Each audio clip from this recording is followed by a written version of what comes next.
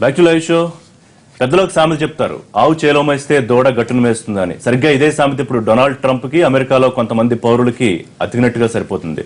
ఆయన మిగతా మిగతా దేశాల్లో ఆయన వ్యాపారాలు విస్తరించుకుంటాడు కానీ ఆయన దేశంలో మాత్రం రాకుండా అడ్డుగోళ్ళు కడతాడు కంచెలు వేస్తాడు మా ఉద్యోగాలు మాకే అని మొదటి నుంచి అదే పాట పాడుతున్నాడు.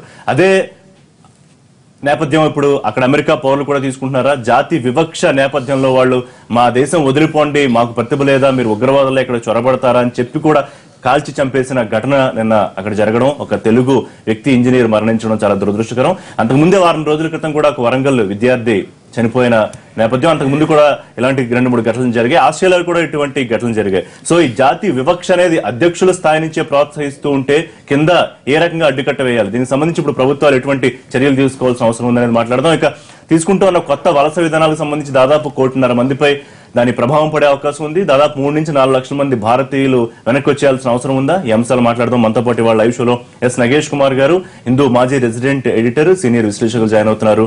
జంధ్యాల రవిశంకర్ గారు సీనియర్ న్యాయవాది అసెంబ్లీ న్యాయ వ్యవహారాల నిపుణులు కాంగ్రెస్ నేత మనతో జాయిన్ అవుతున్నారు. త్రిపురనేని హనుమాన్ చౌదరి గారు పద్మశ్రీ అవార్డు గ్రహీత విదేశీ సంబంధాల నిపుణులు అంతర్జాతీయ సంబంధాలకు సంబంధించి వారు అనేక పుస్తకాలు కూడా రచించున్నారు. కొల్లి మాధవి గారు తెలంగాణ బీజేపీ అధికార ప్రతినిధి.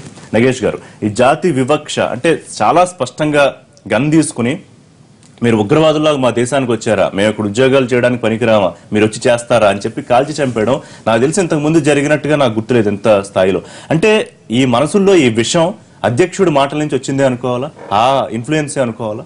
ఇవాళ ఇంకా ఘాటుగా మాట్లాడాడు. ఆయన ఏమన్నాడంటే I'm the not the president of the world I'm president of America అంటే నాది America American made in America. అంత మట్టుకే ఆయన స్లోగన్. యాక్చువల్గా అమెరికాలో ఈ రేసిజం అనేది కొత్తది ఏం కాదు.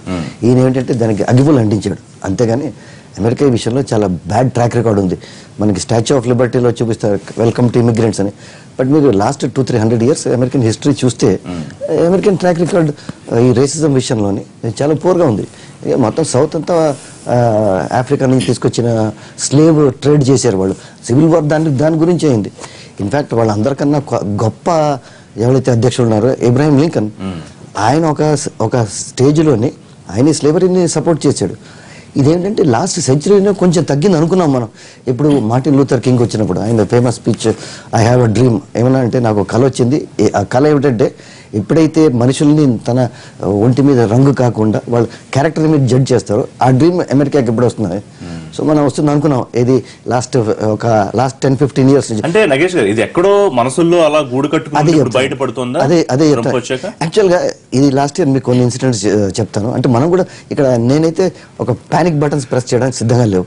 లాస్ట్ ఇయర్ మీకు ఒక ఘోరమైన ఇన్సిడెంట్ అయింది గుజ గుజ ఒక అమెరికాలోని. ఒక గుజరాతీ ఎల్డర్లీ పర్సన్ ఆయన మార్నింగ్ వాక్ వెళ్తున్నారు. వీళ్ళు పోలీస్ వాళ్ళు వచ్చి ఆయన జూడో ట్యాకిల్ చేసేసి ఆయన వెనుముక్క విరిగిపోయింది. సో ఆయన లక్షల కోట్లు ఖర్చు అయింది. ఇలాంటివి జరుగుతూనే ఉన్నాయి. ఒక మన ప్రాబ్లం ఏంటంటే అమెరికాలోని వాళ్ళు ఇవాళ కూడా పత్రికల్లో అదే వచ్చింది. వాళ్ళు మన మిడిల్ ఈస్ట్ వాళ్ళతో మనం they are not able to distinguish వాళ్ళు ఏంటంటే మన మన రంగు దాని తర్వాత మన ఇది డ్రెస్ వాళ్ళు మనని ఒక మిడిల్ ఈస్ట్ వాళ్ళు అనుకుంటున్నారు. ఈ మిడిల్ ఈస్ట్ వాళ్ళంతా నైన్ లెవెన్ తర్వాత అందరూ వీళ్ళకి ఏదో టెర్రరిజం లింక్ ఉందనేది ఆ, ఇది అయితే ఈ లాస్ట్ ఫ్యూ ఫ్యూ మంత్స్ నుంచి ఏదైతే ట్రంప్ చేస్తున్న మాటలతోటి జనరల్గా ఏదైతే ఒక లేటెంట్గా ఒక ఫీలింగ్ ఉందో వీళ్ళు మా- ఉద్యోగాలు తీసుకుంటున్నారు మమ్మల్ని ఇక్కడి నుంచి బయట మా ఇల్లు కొనేసుకుంటున్నారు. బట్ దీంట్లో వరింగ్ ఫ్యాక్టర్ ఏమిటంటే ఇవాళ ఇది జరిగింది. ఇది ఒక యాక్చువల్గా చాలా మంది మంది ఇండియన్స్ నాకు డాక్టర్స్ చాలా మంది తెలిసిన వాళ్ళు ఉన్నారు. వాళ్ళకి వాళ్ళకి ఏం చేస్తారంటే American government American universities government interference చాలా తక్కువ. నువ్వు ఫస్ట్ ఇంటీరియర్లో పనిచేయి. మనకు కూడా పద్ధతి ఉంది. నువ్వు ట్రైబల్ ఏరియాస్లోని అక్కడ పనిచేస్తే నీకు వాళ్ళకు కూడా ఒక సిస్టమ్ ఉంది. వేరే ఇంటీరియర్ ఏరియాస్లో పనిచేయడానికి సో ఇంటీరియర్ ఏరియాస్లో అమెరికన్స్ సిద్ధంగా లేరు. వాళ్ళకి కావాల్సిన New York Los Angeles San Francisco Boston ఇలాంటి పెద్ద పెద్ద ఊళ్ళో కావాలి. మన వాళ్ళు వెళ్తున్నారు. అక్కడ కూడా దాడులు జరగడం అనేది అది కొంచెం వరింగ్ థింగ్ రవిశంకర్ గారు నేను ఈ ఘటన జరగగానే భారత్లో ఉన్న అమెరికా ఎంబసీ అధికారులు స్పందించి లేదు మేమంతా ఉద్యోగాలు చేసుకోవడానికో లేకపోతే విజిట్ చేయడానికో లేకపోతే ఇక్కడ ఉండడానికో మీరంతా రండి మేము ఆహ్వానం పలుకుతున్నాం అంటారు. అక్కడేమో అధ్యక్షుడు మీరంతా రావద్దు అని ఏడు దేశాల మీద ఆంక్షలు విధిస్తారు లేకపోతే హెచ్ వన్ బి వేసాలు కఠినతరం చేయాలంటారు కొత్త వలసదారుల పాలసీలు. ఇది అంటే పైన మాట్లాడేదానికి కింద మాట్లాడేదానికి పొంతన ఎందుకు కుదరట్లేదు? ఏదో ఘటన నుంచి ది డ్యామేజ్ కంట్రోల్ కోసం వీళ్ళు ఇట్లా మాట్లాడుతున్నారు అనుకోవాలా ఎంబసీ నుంచి?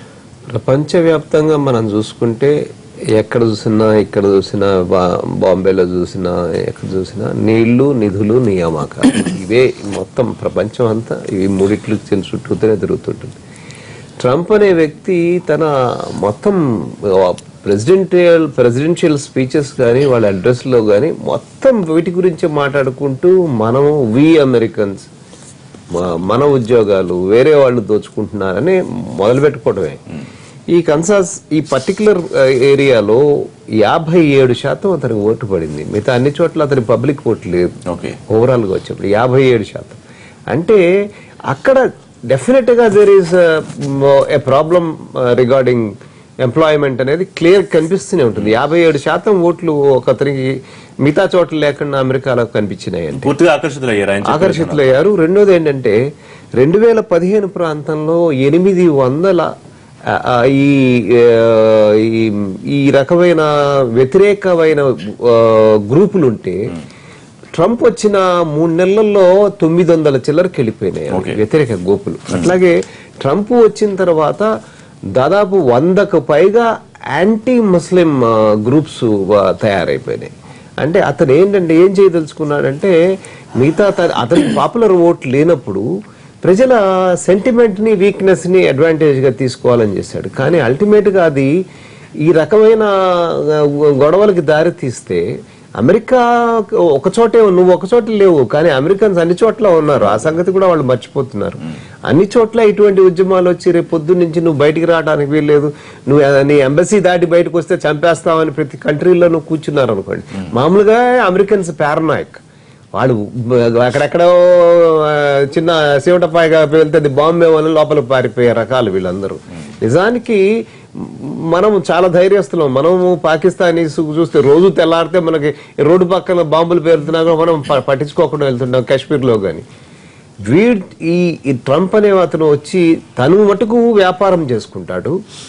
వేరే వాళ్ళు ఇక్కడ వ్యాపారాలు చేయటానికి వీల్లేదు. అమెరికన్స్ వేరే చోట ఉద్యోగాలు చేయటం వేరే వేరే వాళ్ళు ఇక్కడ ఉద్యోగాలు చేయొచ్చు నువ్వు చదువుకోకపోతే నాది కాదు తప్పు నీకు డిగ్రీలు లేకపోతే నాది కాదు తప్పు మా మా మా మా కంట్రీలో మాకు డిగ్రీలు ఉండి మేము ఓకే ఎంప్లాయ్మెంట్ ప్రపంచంలో ఇప్పుడు వసుదైక కుటుంబం అని చెప్పి ఒక సామెత మనం చెప్పుకుంటుంటే వసుదైక కుటుంబంలో అమెరికా కూడా ఒక పార్టీ.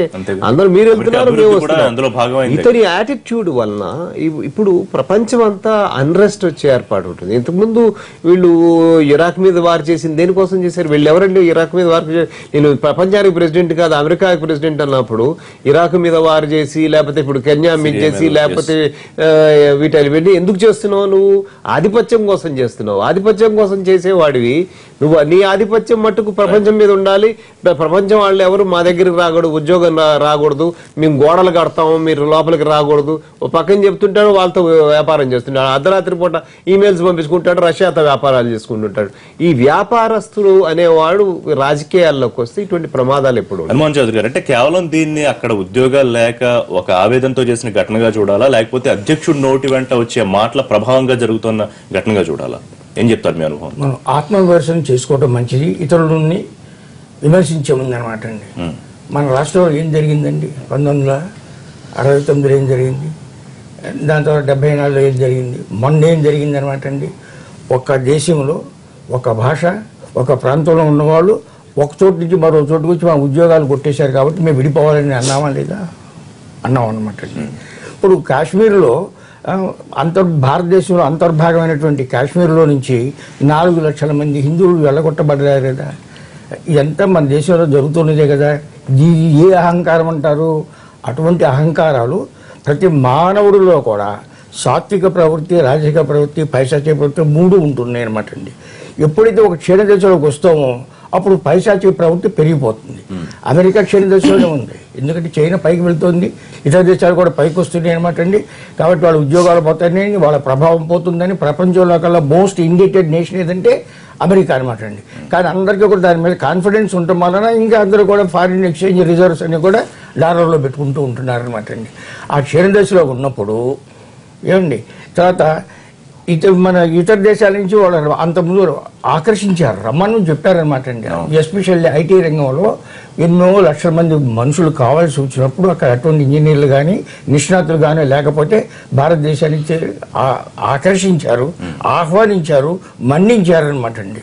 ఇప్పుడు అక్కడ ఉన్నటువంటి పెద్ద పెద్ద సంస్థల్లో పదహారు నుంచి ఇరవై ఐదు శాతం ఒక భారతీయులు ఉంటున్నారు అనమాట అండి కాకపోతే ఏం జరిగిందంటే ఆ క్షీణ దశలో ఉండటం వలన వాళ్ళ చదువుకు అంటే డబ్బు ఎక్కువైపోవడం వలన చదువు తక్కువైపోయి వాళ్ళ ఉద్యోగాలు పోయినాయని వాళ్ళు అనుకుంటున్నారు. కష్టపడి పనిచేసే తత్వం కూడా తక్కువే తక్కువైపోయింది. అయినా ఇది ఎందుకంటే ఎప్పుడైతే ఎఫ్లూయెన్స్ వస్తుందో ఎఫ్లూయెన్స్ వచ్చినప్పుడు ఏమంటాడు? కాలు మీద కాలు వేసుకుని రెండు వర్షాలు పని కానీ. హనుమాన్ చౌదరి గారు కేవలం ఒక వ్యక్తి ప్రెసిడెంట్గా.